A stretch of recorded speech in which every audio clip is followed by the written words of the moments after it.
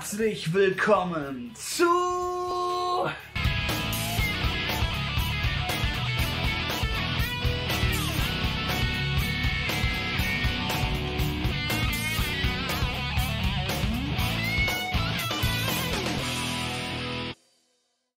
Blind Tube. Hey ho, hallihallo und herzlich willkommen. Ja, ähm, wir haben heute äh, den 6. Oktober und was soll ich sagen, Leute? Was soll ich sagen? Wir haben diesmal nicht verpennt. Genau, wir haben, die, wir haben diesmal nicht verpennt. Wir haben diesmal tatsächlich unseren eigenen Kanalgeburtstag nicht verpennt. Ähm, und ja, wir äh, werden sechs. Am 6. Oktober werden wir sechs. Zumindest ist der YouTube-Kanal. Ja, Also gut, sagen wir mal, die Marke BlindTube wird sechs. So, Ja, ja. um das jetzt also- äh, Blind, BlindTube an sich wird 6 und ähm, das wollen wir natürlich auch mit euch live feiern, aber nicht heute, weil wir haben uns gedacht, so mitten in der Woche äh, so über die Stränge schlagen ist jetzt vielleicht bei uns möglich, bei euch aber vielleicht nicht. Deswegen hatten wir uns überlegt, das Ganze tatsächlich dann auf Freitag zu verlagern, Livestream-mäßig. Und da kommen wir Ja. dann schon zu einem Punkt, äh, wo wir gerade bei mehreren Kanälen waren. Ja, wie, wie ein paar vielleicht schon mitbekommen haben, haben wir ja zwischendurch mal so leicht angeteasert, dass sich Sachen verändern werden. Und Genau, der Zeitpunkt scheint uns jetzt am besten.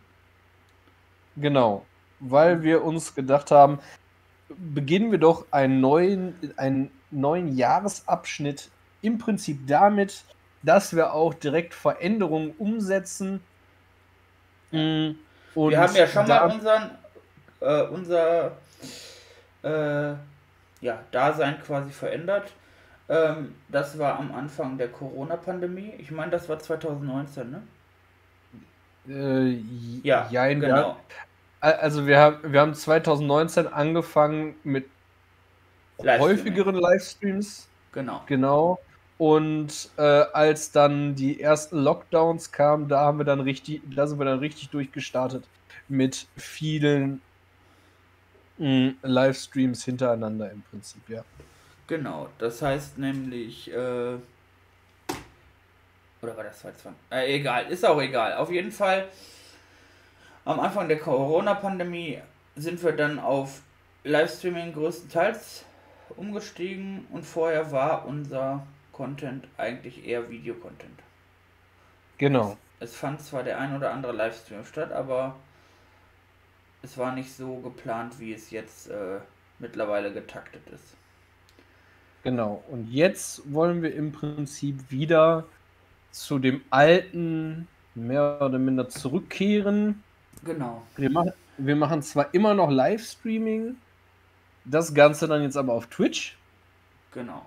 Mm, Ihr werdet hier dann im Prinzip äh, Ausschnitte von den Livestreams bekommen. Ihr werdet äh, auch teilweise volle Livestreams bekommen. Im Re-Upload, zum Beispiel die Crime Letters werden, auch, wer- werden noch in voller Stärke ganz klar äh, hier landen, aber erst im Nachhinein und nicht von vornherein live. Richtig. Wir haben uns nämlich folgendes überlegt. Wir haben jetzt halt ja auch gemerkt, da die Pandemie so ein bisschen jetzt äh, sich beruhigt hat und alles so langsam wieder Richtung normal geht, äh, haben wir uns halt überlegt, ist ähm, Livestreaming hier auf YouTube zumindest ähm, überhaupt noch, äh, ja, lohnt es sich noch, gucken noch Leute zu. Und da haben wir äh, ja die letzte Zeit so eine kleine Testphase gehabt. Wir haben ja auf beiden Plattformen gleichzeitig gestreamt und haben festgestellt, dass die Beteiligung auf YouTube, äh, YouTube, genau, auf YouTube, ne? Nein, auf YouTube die Beteiligung ähm, um einiges nachgelassen hat und äh, dafür aber auf Twitch äh, sich eine neue, neue Zuschauerschaft ähm, ja, angesiedelt Etabliert hat.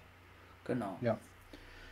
So, und dann waren wir natürlich jetzt an der Idee äh, am Fallen, wie machen wir das? Und haben uns dann entschieden, ja, ganz mit Livestreaming aufzuhören, ist natürlich auch doof für die Leute, die sich da mittlerweile drauf freuen, dran gewöhnt haben, denen das Spaß macht, uns im Livestream zu sehen. Aber wir haben halt den Eindruck, auf YouTube wollen die Leute eigentlich lieber Videos von uns.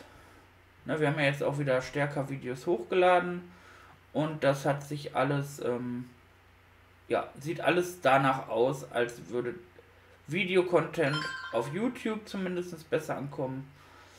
Äh, ja, als Livestreaming-Content. Und um die Leute aber trotzdem, ne, damit ihr trotzdem weiter unsere Livestreams genießen könnt, werden wir die jetzt, wie gesagt, auf Twitch machen.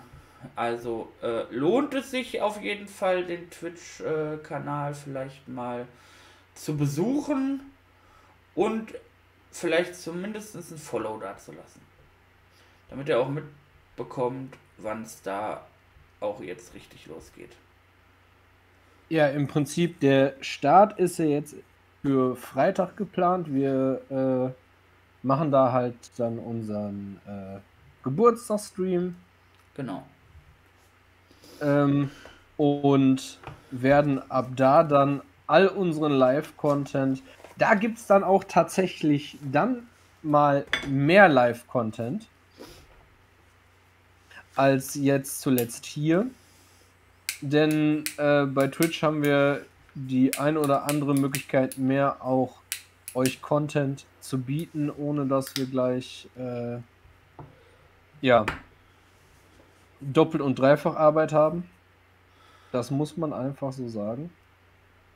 Aber wie gesagt, hm. keine Sorge, ihr werdet trotzdem die meisten Inhalte, die auf Twitch laufen, äh, mitbekommen. Halt leider nur nicht in Echtzeit. Und eventuell auch in einer abgespeckten Version, je nachdem, was es halt ist. Ne? Also, ähm, viele Themen werden komplett hier äh, laufen, aber einige werden wir dann nur Highlights rauskarten und euch dann als Video zur Verfügung stellen. Ja. Ja, und äh, ihr habt ja auch schon mitgekriegt, wir haben ja auch im Videobereich äh, jetzt fleißig äh, uns dazu dann äh, jetzt noch den zum Beispiel für die NFL Game Day Analysen und auch äh, für die European League of Football haben wir da jetzt ja auch uns den Philipp zugeholt, der tatsächlich ja äh, auch dann mich ein, ein bisschen, beziehungsweise ein bisschen viel bei den äh, Sachen dann unterstützt. Die werdet ihr wie gewohnt auch hier finden. Mhm. Ja, und. Aber. Und, äh, ja. Jetzt einfach, weil das ja ein bisschen komplizierter jetzt ist, dass. Wie läuft das jetzt? Was läuft jetzt an Football für die Leute, die euch live sehen wollen? Was läuft an Football jetzt live auf Twitch? Also, ich, wir haben jetzt, äh, wir sind jetzt hin, oder wir werden jetzt hingehen und werden auch die NFL Game Day Analyse wieder live machen. Also zumindest für die Leute auf Twitch werden wir diese äh, live machen.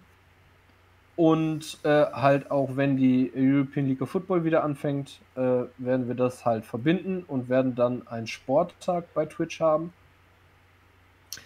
Ähm, ja, und dann wird es halt im Prinzip so, wie es ist, erstmal auf YouTube übernommen.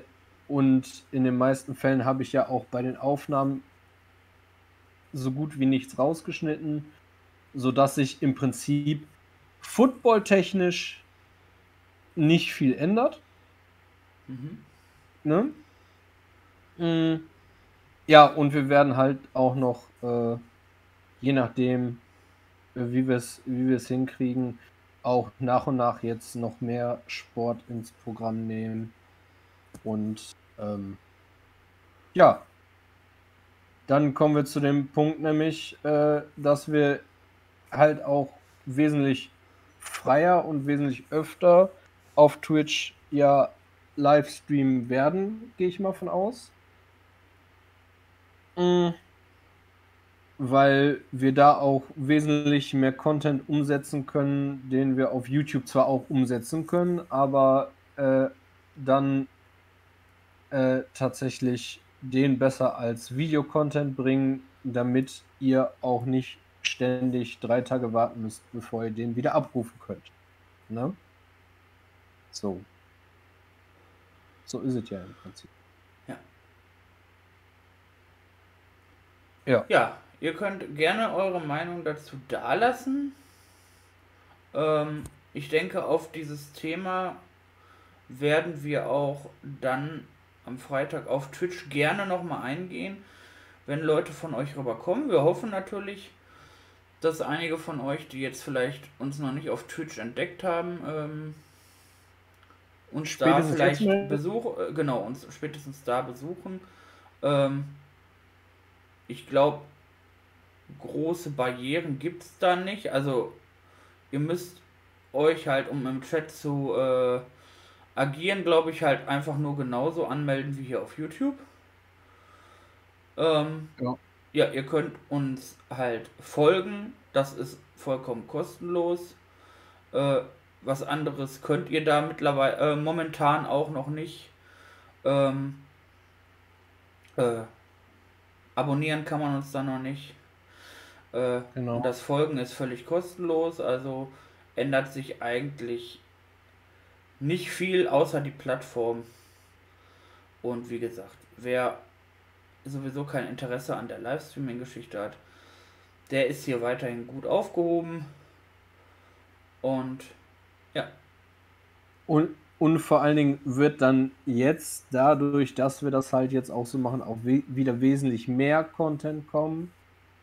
Weil zum Beispiel ich äh, die Gaming-Streams, die ich mache, die nehme ich auch schön fein säuberlich auseinander für euch und verpackt die in schön kleine Häppchen.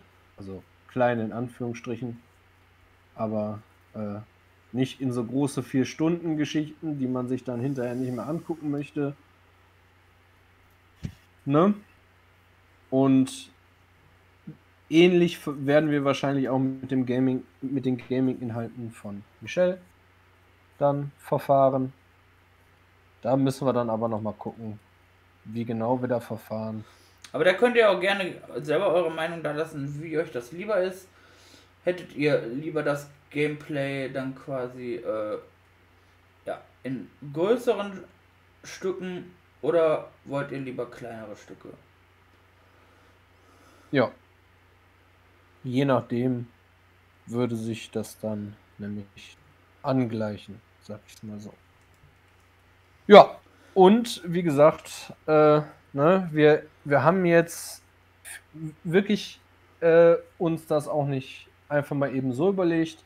Diese Überlegung war schon eigentlich vor zwei, drei Monaten soweit. Nur wir haben irgendwie nicht so wirklich uns Gedanken gemacht, wann wollen wir das tun, wohin soll uns das führen? Doch, wir waren uns Jetzt, relativ bewusst, dass wir das zusammen mit dem Geburtstag irgendwie in Verbindung bringen. Ja, vor drei, vier Wochen, aber nicht, als wir angefangen haben, dual zu streamen. Nee, nee, aber das war ja halt auch erstmal so eine Testphase, um zu, auszuloten, äh, ja, ist das überhaupt eine Option? Ja, und im Prinzip muss man auch, wie gesagt, dazu sagen, ihr bekommt so, wie wir es jetzt halt vorhaben, wesentlich mehr Content. Äh, und das sogar in wesentlich kürzeren Abständen. Sodass wir ähm, hier im Prinzip dann tatsächlich schon heute euch sagen können, dass es zum Beispiel heute sogar ein äh, Doppel-Upload geben wird, wahrscheinlich, äh, je nachdem, wie schnell ich die ganze Geschichte geschnitten kriege. Ja. Und äh, damit war es das eigentlich auch zu dem Thema. Gibt es sonst noch irgendwas, was in den letzten zwölf Monaten passiert ist, Michelle? Was wir vielleicht noch gar nicht, noch gar nicht so wirklich realisiert haben. Hm. Ja, contentmäßig ist ja äh, Geocaching dazu gekommen. Da ist die Frage, wie das jetzt im Winter aussieht oder ob das erst wieder Richtung Frühling kommen wird. Das müssen wir beide uns noch überlegen, äh, weil es natürlich auch früher dunkel wird und das äh, könnte Zeitmanagement technisch schon Probleme verursachen. Ja, Also wie eine das Uhr, die dazwischen plärt, ja. Ja. Ähm, genau. Also wir, wir testen jetzt auch noch mal zwei, drei andere lustige kleine Sachen. Aber vielleicht habt ihr, wie gesagt, auch Fragen, die könnt ihr ja hier unten in die Kommentare schreiben. Und dann greifen wir die bei dem Twitch-Stream am Freitag auf jeden Fall, denke ich, auf. Ja, wenn ihr ich- nicht selbst anwesend seid. Genau, so sieht das aus. Ja. Ja. Gut. Also, ich hätte jetzt nichts mehr. Also, wie gesagt, auch Glückwünsche zu unserem Kanalgeburtstag bitte hier unten rein. So, da irgendwo unter uns ist ja die Kommentarbox. Da Jetzt könnt ihr. bettelt ihr auch noch um Glückwünsche. Nö, wieso? Aber ne, wenn ihr, aber wenn ihr definitiv keine, wie, wo wir gerade bei Betteln sind, ähm, betteln möchte ich zwar nicht, aber wenn euch das, was wir hier auf dem Kanal machen, gefällt und wenn euch auch die Veränderungen gefallen, könnt ihr auch gerne hier abonnieren und äh, ja, uns mit Kommentaren sagen, wie es euch gefallen hat oder auch einfach äh, mit den Bewertungsdaumen Ja. uns eine Tendenz geben. Genau. Das wäre ein Träumchen, würde ich sagen. Was ich vielleicht noch anmerken muss, ist halt, äh, ich weiß noch nicht, wie schnell ich es jetzt schaffe, äh, sag ich mal, guten Gaming-Content jetzt gerade zu liefern, weil ich gerade da so ein bisschen Streit mit meiner GPU habe. ähm, aber ich versuche Ja. das Problem so schnell wie möglich aus der Welt zu schaffen und dann kommt auch hoffentlich wieder stabiles äh, ja, Gaming. Gaming. Ja, so sieht das aus. Stabil und akkurat. Genau. Und ähm, ja, dann gibt einfach, dann gibt's einfach nicht mehr viel zu sagen, außer kommt am Freitag gerne bei uns. Ja, und danach auch, ne? Danach auch. Selbst wenn ihr Freitag nicht könnt, äh, kommt danach gerne in unsere Twitch-Livestreams. Ja. Ja. Selbst wenn es Freitag Aber- nicht geht. Uns würden natürlich freuen, wenn so viele wie möglich von euch anwesend wären. Ja. Ne? So. Ich bin auch schon Und mega aufgeregt, wie sich die Veränderung auswirkt, wie das Ganze angenommen wird und ja. Dann würde ich sagen, an diesem Punkt. Ende Gelände. Genau. Und wir wünschen euch noch einen schönen Tag. Wie gesagt, ich weiß noch nicht wie, aber äh, heute denke ich mal kommen zwei Videos. Entweder das hier vorher oder das andere vorher. Ich weiß noch nicht. Ich schau mal, wie ich das hinbekomme.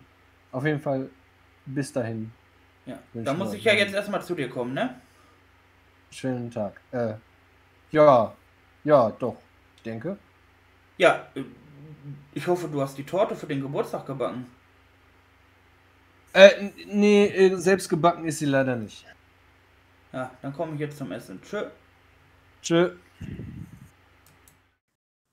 Abonnieren nicht vergessen.